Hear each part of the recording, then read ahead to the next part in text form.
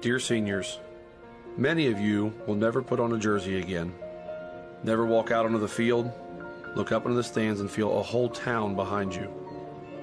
I know it hurts. Football does. But where else in life do you get knocked down on every play and have to make the choice to get back up?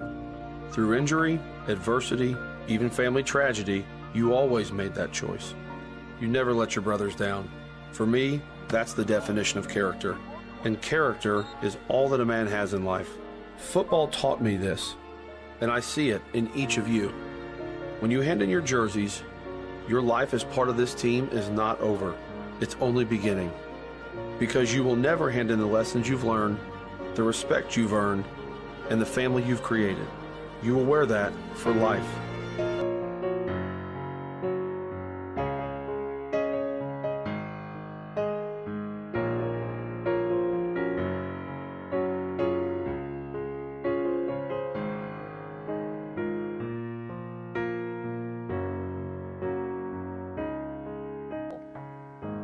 as a coach, if you had a, a whole team full of Darius Shackelford, you you'd feel pretty good.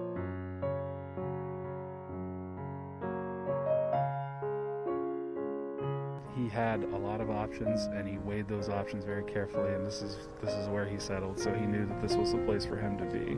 You can try to make sense of why you lose somebody like him at such a young age, but you know you, you have faith that he's a, he's in a better place right now. A beloved Wildcat who could light up more than just the scoreboard as a three-sport athlete. Any room he walked in, he always lit it up. He'd lit it, he'd light it up with laughter. You know, he'd light it up with joy.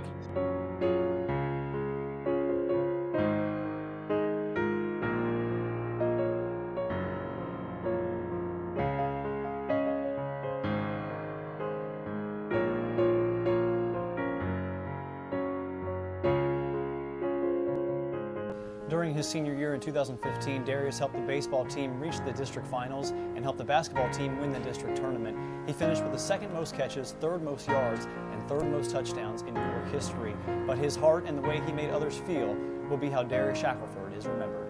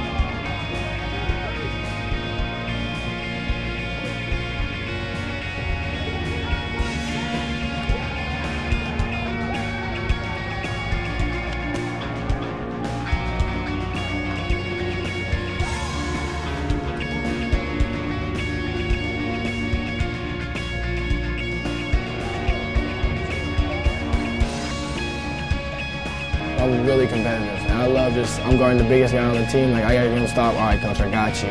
Like, if you guys got my back, then I'm gonna give you my 100% effort and get him stop.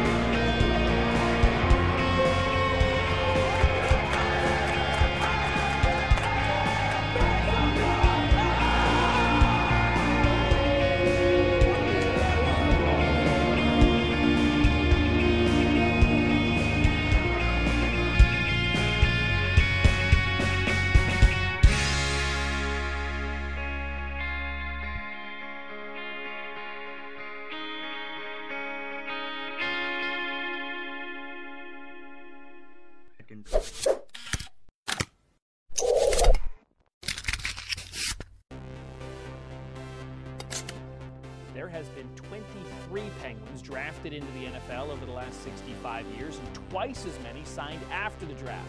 Today, the university welcomed all professional scouts to the Penguins' annual Pro Day, where there was far more than just football players on display.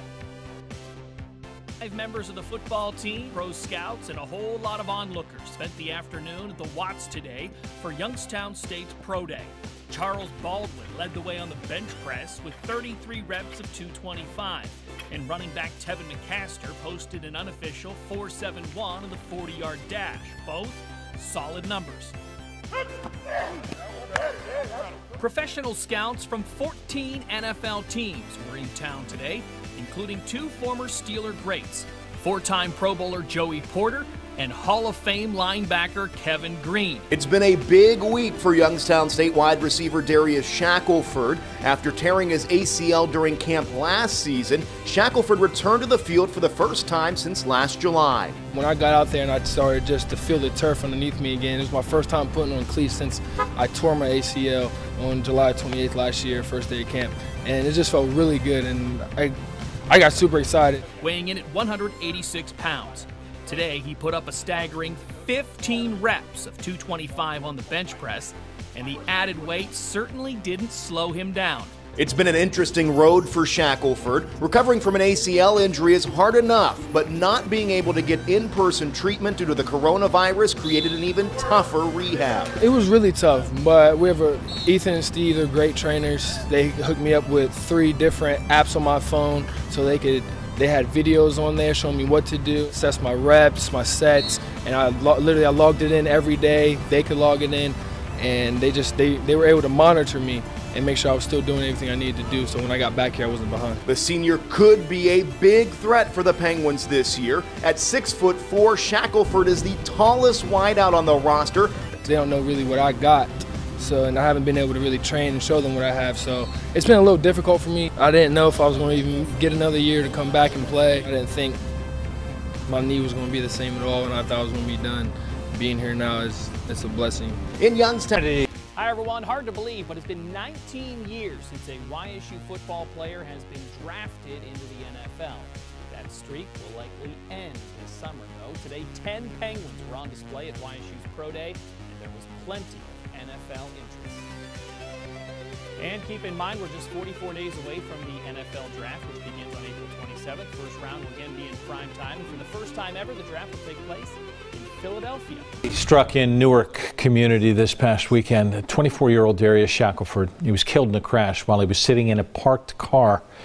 Youngstown police, they were attempting to stop a 19-year-old for a traffic violation and a chase ensued. Yeah, the driver eventually struck the vehicle that Shackelford was sitting in, and police say he died out there on the scene. NBC4 digital sports reporter Justin Holbrook spoke with those who coached him during his time at Newark High School. Justin. Yeah, Darius was a three sport athlete excelling at baseball, basketball, and football. He pursued his dream of playing Division One football at Youngstown State and graduated just last year. His former coaches and a close friend at Newark spoke with me about a remarkable life cut way too soon. Members of the Newark community are grieving the loss of Darius Shackelford, a beloved Wildcat who could light up more than just the scoreboard as a three sport athlete. Any room he walked in, he always lit it up. He'd, lit it, he'd light it up with laughter, you know, he'd light it up with joy. Grant Russell connected with Darius on the field as the Wildcats quarterback and off it as one of his best friends. Uh, he was just a loving, caring person. That's not only felt by me, that's felt by our, the entire community in Newark. That includes his former high school coaches. Always had a smile on his face, always wonderful, selfless kid. Um, just probably of all the kids I taught, probably in the top five the most enjoyable kids to have in class that's kind of a rare thing anymore to have that combination of being a good athlete, being a good student, uh, being a role model. He just was the total package. He was great to my two kids. They were young then. They were probably uh, six or seven years old, and he would he would shoot with them. And just the the way he was, not just with his teammates but other kids, um, to remembered for how you treat other people. And uh, he, he was he was a great guy. Darius's talent, work ethic, and down-to-earth nature was rewarded by Youngstown State with a football scholarship. He played for the Penguins from 2015 to 2020. Although his life was cut short, the way he lived and loved will continue on in those who loved him. He's going to want us to keep going, keep living the right way and doing the right things because that's what he always did. Um, and that's the lasting legacy I, I do believe he will he will leave. During his senior year in 2015, Darius helped the baseball team reach the district finals and helped the basketball team win the district tournament. He finished with the second most catches, third most yards, and third most touchdowns in Newark history. But his heart and the way he made others feel will be how Darius Shackelford is remembered. In the newsroom, Justin Holbrook, NBC4. Investigation continues into a weekend crash that claimed the life of a former YSU football player. The community continues to remember him. Hundreds came out to a memorial put on by the Youngstown State Athletic Department for 24-year-old Darius Shackelford. I was at Stambaugh Stadium tonight where those who know him tell me Darius was truly irreplaceable as a coach, if you had a, a whole team full of Darius Shackelford, you'd feel pretty good. The day he stepped on the earth, he was a bright light, and he shined as bright as he possibly could. Hundreds gathering tonight to honor the short life of former YSU football player Darius Shackelford.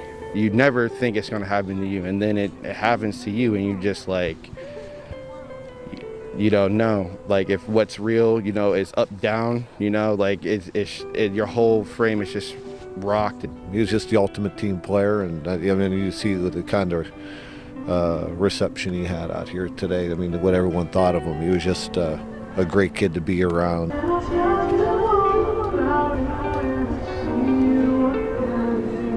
Friends and family remembering Darius for his humble and loving personality. The most important legacy he'll leave is just to treat people the right way because that's that was him, you know. He would make everybody feel good whoever he was around. He made you feel like his your problems was his problems, you know, and he helped with, he helped you work through whatever you were going through. Family telling me he loved his team, alma mater, and the game of football. He had a lot of options and he weighed those options very carefully and this is this is where he settled so he knew that this was the place for him to be. You try to make sense of why you lose somebody like him at such a young age, but you know, you, you have faith that he's a, he's in a better place right now and he's up in heaven. Darius just graduated in December from YSU. Funeral services have yet to be announced. The crash that claimed his life remains under investigation. Officials say a 19-year-old was fleeing from police when he crashed into, into Darius's car last Saturday. Charges and evidence, there's a lot of evidence to collect. All right, Youngstown police revealing new details into the deadly accident that killed a former YSU football player. Identified the driver who they say started it all. Good evening, I'm Dave Sess. And I'm Alexis Walters, the victim in all of this, 24-year-old Darius Shackelford. Police say they continue to gather more information to find out what really happened. Here's First News senior reporter Jerry Ricciuti.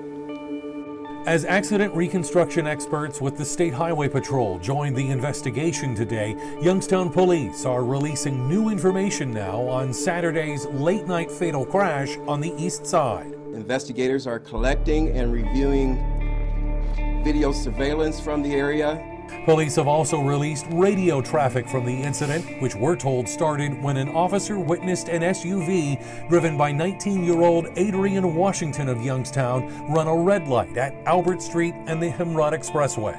Go forward for pursuit. But literally four seconds later, a call for help. But Albert has state signal six, signal six, send me some cars on uh, Albert McGuffey. As the officer turned around and activated his his lights and sirens, this vehicle at a high rate of, high rate of speed fled. That crash moments later claimed the life of one-time Youngstown State football player Darius Shackelford as his car was in the intersection at McGuffey Road. This afternoon, Mayor Tito Brown sympathized with the innocent victim's family. Uh, the things that we tell our children, go and get an education, you know, the life and the world is yours to have, and just taking in an instant. Officers apprehended Washington and a 17 year old juvenile passenger soon after the crash. We're told Washington has an arrest record over the last two years locally and has spent time in the Mahoning County Jail. Definitely, the officer's presence, along with the activation of his lights and sirens, caused this person to flee and to crash. There's no doubt about that. As investigators look to determine if any of the department's policies were violated, police expect charges to be filed later this month. Meantime, we did learn the man accused in a deadly crash that killed a former YSU football player is now in the Mahoning County Jail. This all happened within the past two hours. Look, this is a new mugshot First News got a hold of of Adrian Washington. He faces charges of aggravated vehicular homicide and leaving the scene of an accident. That crash killed 24-year-old Darius Shackelford. This is video of the wreck from February 7th. Police say Washington ran a red light at the intersection with the Himrod Avenue Expressway. That officer turned around and put on a siren, but less than 10 seconds later, Washington's car crashed into the vehicle Shackelford was driving. Washington is expected to be arraigned tomorrow. In the crash that killed a former YSU football player is now facing felony charges. Adrian Washington is charged with hit skip and aggravated vehicular homicide. Uh, police say Washington was driving the car that crashed into another car that Darius Shackelford was sitting in. That February collision killed Shackelford. Officers say they saw Washington run a red light a few blocks away before crashing into Shackelford's vehicle. In last month's fatal crash involving a former YSU football player is now being held in jail on a $75,000 bond. Adrian Washington was in court this afternoon after turning himself in yesterday He's charged with aggravated vehicular homicide in connection with the crash that claimed the life of Darius Shackelford. Washington returns to court later this month.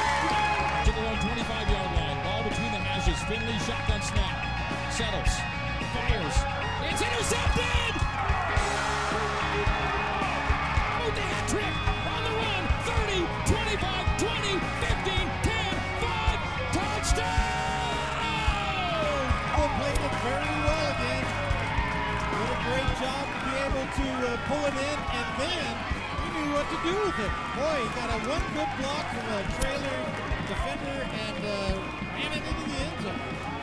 That, that's going to ice this thing. Can you believe this?